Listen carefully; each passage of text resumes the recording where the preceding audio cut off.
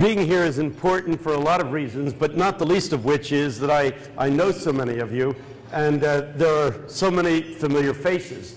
Uh, in this case, it's a good thing to encounter familiar faces. Not always is this the case.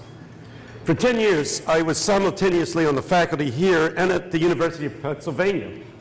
And I would go in on the Paoli Local, this train that runs close by the campus. One by one, every umbrella I owned got left at my office at the university. It was raining in the morning, it wasn't raining in the afternoon. One by one, the umbrellas got left there.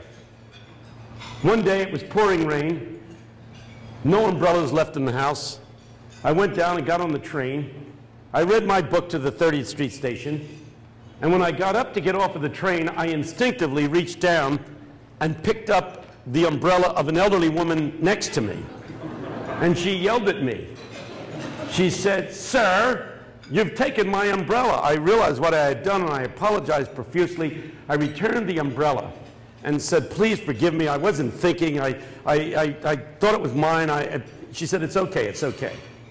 At the end of the day, I'm leaving my office at the university, and my graduate assistant came running up to me and said, Doctor, your wife called and she said to make sure that you take home the umbrellas. And so I gathered them up for you, and she gave me four umbrellas. And I put them under my arm, and I got back on the train, and I'm coming down the aisle of the train with four umbrellas under my arm. As I said, it's not always a happy thing to encounter a familiar face. You know who I bumped into.